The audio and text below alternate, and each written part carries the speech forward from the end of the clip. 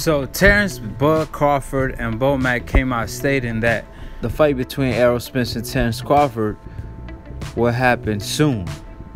And by soon, he means sooner than people think. And that's great for the sport of boxing because we know, and history showed us time and time again, that a lot of fights, when they manerate, fighters tend to lose on either side. A great example, fight that just took place Anthony Joshua versus Ruiz. You know, Ruiz pulled off the upset and messed up the money flow for Deontay Wilder versus Anthony Joshua fight. That was a huge mega fight. Now, people don't even believe in Anthony Joshua anymore. I mean, if Ruiz could knock you out, Wilder will definitely put you in a coma. However, in the heavyweight division, more upsets are likely to happen than lower weight divisions because one punch could really change the fight. But at the welterweight division, I feel like Crawford and Errol Spence really separated themselves from all the other welterweights. I just don't see Keith Thurman, Shawn Porter, and even Danny Garcia threatened to be either one. I just believe that they just that much better.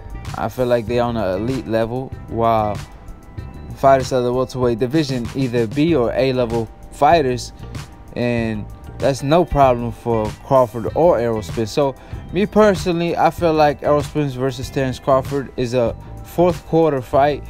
Uh, it's like the end of the tournament type of fight. It's like the Super Bowl of boxing. And the reason I feel that way is because this is our Leonard versus Hearns. This is our Leonard versus Hagler. So this fight deserves all the shine that it's gonna get. So why not let it build? But at the same time, I would not be complaining if it happens or it takes place tomorrow. Like I'd be there to watch it and support it. But like I said, this fight is really like the finals because once a winner is declared, Crawford is already pound for pound number one. Errol Spence is already number one in the welterweight division. He the boogeyman. So when you got these two guys, when they clash, the winner is definitely number one at the welterweight division. And whoever they fight after wouldn't matter anymore because they will be such a favorite to win. But if throughout the lead up to the fight between Terence Crawford and Errol Spence, they clear the welterweight division and then fight each other, then they done built the fight to its maximum potential. And then if Errol Spence wins, he move up a weight and if Terence Crawford wins, he could do the same, move up in weight, or decide to stay at his own weight, which is at 147, because he's not as big as Errol. So uh, Bob Arum already stated that you know if Errol Smith want to make real money, it's not the Shawn Porter fight because Errol Spence versus Shawn Porter, even though it's a unification, Shawn Porter style and popularity ain't gonna help the case for a pay-per-view. But because Danny Garcia versus Mikey Garcia just landed on pay per view, and we already know Errol Spence beat Mikey, and Danny Garcia ducking the hell out of Errol Spence. Errol Spence over here thinking like, I beat the crap out of Mikey Garcia, and he out here getting a pay per view fight, and I'm fighting on free TV, and obviously if you fight on pay per view, you most likely make more money. So Errol Spence definitely was not feeling that. So because his fight mean more to the welterweight division, then he felt he should have his fight on pay-per-view too. That's why they pushed the fight back and they negotiating a fight between Errol Spence and Terence Crawford. But like I said, in a perfect world, you know, Errol Spence fights Keith Thurman next and Terence Crawford gets the winner of Mikey versus Danny Garcia. Then they meet up after that because uh, the welterweight, the rest of the welterweight division gets what they want if Terence Crawford fights Errol Spence. They all been avoiding them two, trying to throw them against each other as soon as they can, and nothing wrong with that. But they not wanting to step in the ring with them guys. So they get what they want and maneuver and fight each other and just duck Errol Spence and Terence Crawford. And while they taking credit away from them two, talking about Keith Thurman, he over here saying he number one. Danny Garcia talking about he could have did the same thing, Errol Spence and more. He could have knocked out Mikey Garcia. And I'm like, okay, well, you got your fight with Mikey Garcia now. We'll see if you actually can win the fight, let alone knock him out, because now you got to live up to a lot of things. Dominated Mikey, knocking out Mikey. And you better not lose to Mikey or have a split decision or a close fight.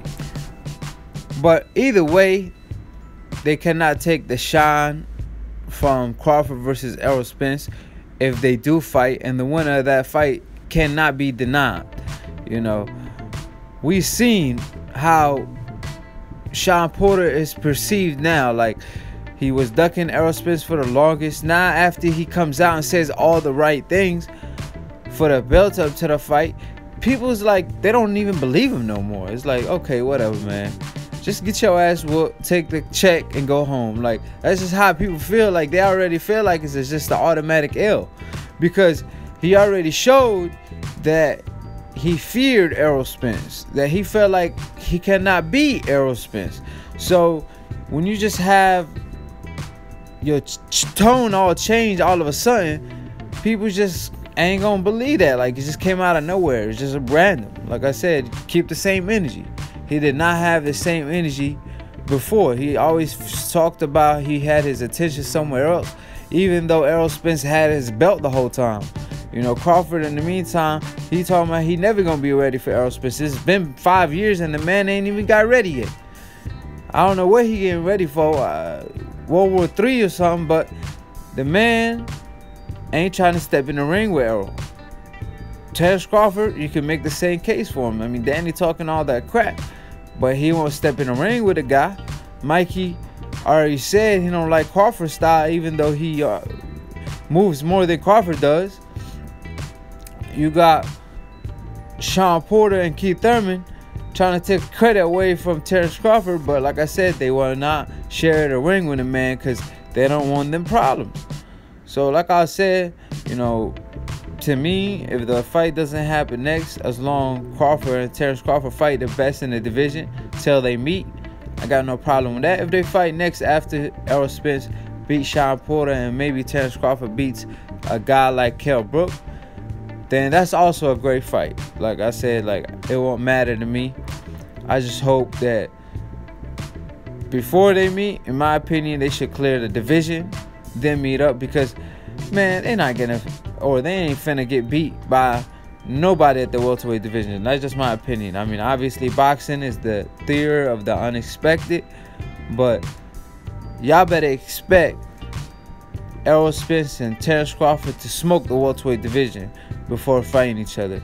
If that's the path they choose to take, you know, like I said, subscribe below if you're trying to get smart about it, and if you're trying to get dumb about it, second, don't listen to these casual ass fans and peace. We out of here.